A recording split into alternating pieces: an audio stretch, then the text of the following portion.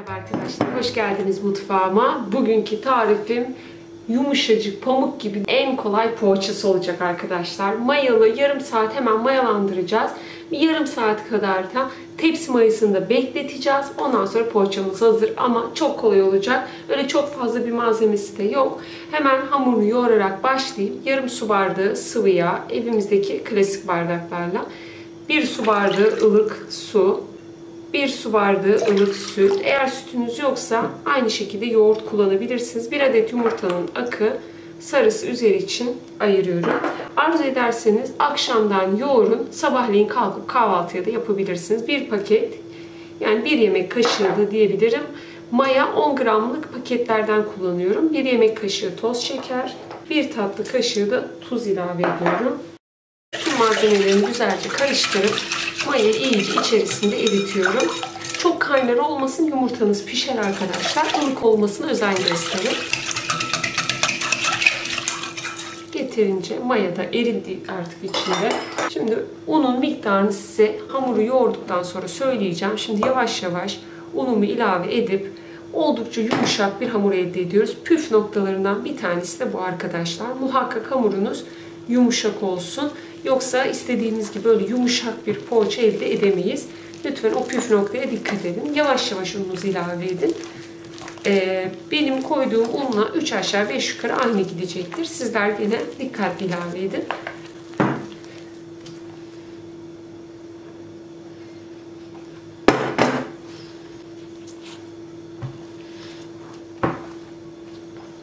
Hamuru birazcık toparladım. Ellerimi de yıkadım arkadaşlar. Elleriniz eğer hamurlu olursa sürekli böyle un koyma ihtiyacı hissedeceksinizdir. Toparladıktan sonra biraz şöyle masamın üzerine unu döküyorum.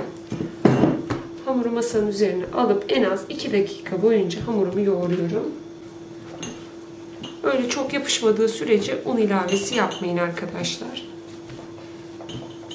Yumuşak bir hamur e, elde etmeye de lütfen özen gösterin. Toplamda tam 5 su bardağı un gitti. Sizde de 3 aşağı 5 yukarı hemen hemen aynı gidecektir. 5-5,5 arasında gidiyor.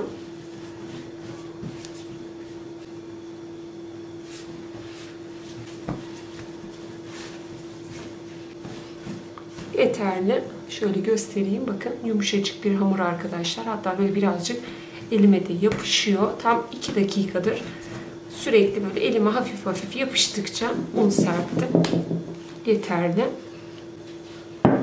Yoğurduğum kabın içine biraz un serpip hamuru içerisine yerleştiriyorum. Streç filmle kapatıp hamur hemen hemen böyle iki kat olana kadar yarım saat 40 dakika boyunca mayalandırıyorum. Bu odanın ısısına göre değişkenlik gösterebilir arkadaşlar. En fazla 45 dakikada mayalanacak. 40 dakikada dinlendiriyorum. Artık yeterli. Bu şekilde mayalanması tamamdır arkadaşlar. Hemen masamın üzerine alıyorum. Çok yumuşak harika bir hamur oldu arkadaşlar.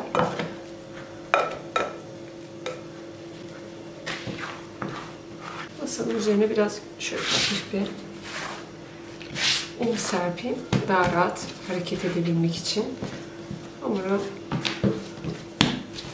portakal büyüklüğünde bezeleri ayırıyorum. Çok küçük bir poğaça yapmıyoruz arkadaşlar.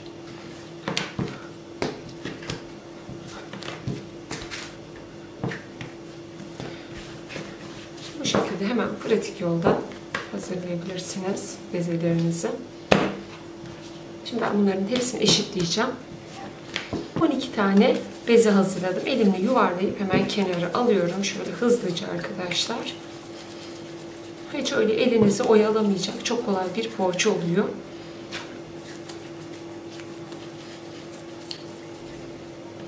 Çok fazla böyle un kullanmayın. Baktınız aşırı elinize yapışıyor. O zaman kullanabilirsiniz. Hafif bir şu un serpeyim. Çünkü yumuşak olduğu için elimize yapışıyor. Şöyle hafif açıyorum. Çok da un kullanmayın arkadaşlar.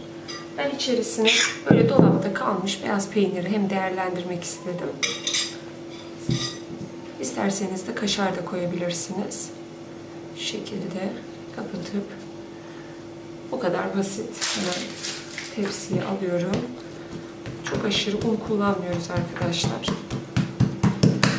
Biraz şu açmanız yeterli. Ben orta kısmına peyniri koyuyorum. Yanlardan hafif kapatıp biraz çekiştirerek sarıyorum. Bu şekilde tepsiye hafif aralıklarla diziyorum. Hamur o kadar rahat ki kendiliğinden açılıyor zaten.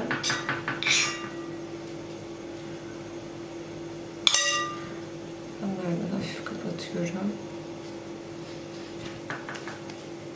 Bu şekilde. Bu en kolay yöntemdir arkadaşlar poğaça yapımında.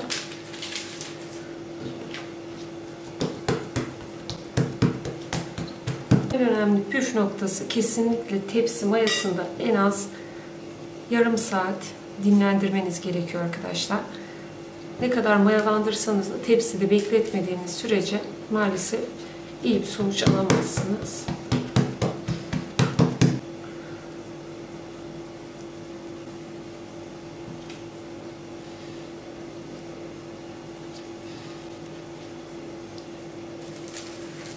Poğaçaların hepsini tamamladım arkadaşlar. Şimdi en önemli püf noktası olan tepsi mayası. Tepsi mayası dediğimiz tam da bu arkadaşlar.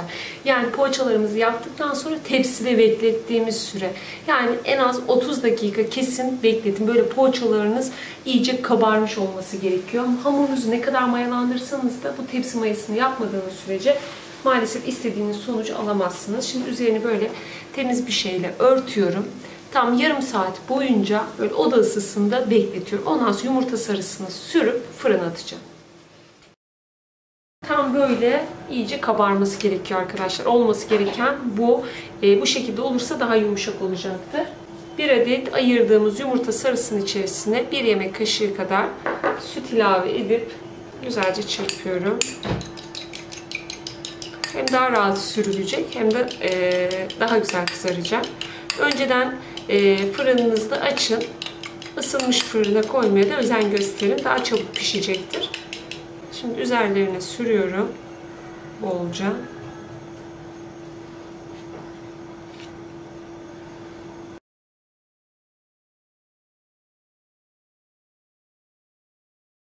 Üzerine birazcık da susam ya da çörek otu fark etmez. Atıyorum. Önceden ısıtılmış 180 derecelik fırında pişiriyorum. Fanlı değil arkadaşlar. Fanlı da hamur işlerini lütfen pişirmeyin. Ee, poğaçalarınız kurur. Ona da lütfen dikkat edin. Ortalama 30-35 dakikada pişecektir. Fırına götürüp dikkatlice pişiriyorum. Poğaçayı fırından çıkardım. Çok da güzel kabardı arkadaşlar. Hatta şöyle iki tanesi de yendi. Müthiş bir şey olmuş. Gerçekten dediğim gibi bu kadar yumuşak e, bir poğaça yememişsinizdir. Bakar mısınız şunların güzelliğine? E, pişirdikten sonra tam 30 dakikada pişti. E, pişirdikten sonra üzerine temiz bir şeyle muhakkak örtün. Daha böyle yumuşak olacaktır. Ben şöyle bir tanesini alayım. E, küçücük poğaça ne kadar büyük oldu gördüğünüz gibi. Sadece yarım su bardağı sıvı yağla bir tepsi poğaça yapmış olduk. Bakar mısınız arkadaşlar? Yumuşacık tadı da harika olmuş. Ne kadar sıkarsam sıkayım hemen eski halini alıyor. Muhakkak denemeniz gereken tariflerden biri. İyice ayrıntılı ayrıntılı gösterip videomu bitireyim. Her poğaça için e, bunu söylemem ama bu poğaça gerçekten çok başka ve güzel olmuş arkadaşlar. Ben buna bayıldım. Muhakkak deneyin. Umarım sizler denedikten sonra çok daha güzelini yaparsınız. Videolarımı beğenip ufak da olsa bir yorum bırakmayı unutmayın. Eğer kanalıma abone değilseniz bu videodan sonra abone olabilirsiniz. Bir dahaki videolarda görüşmek üzere. Hoşçakalın.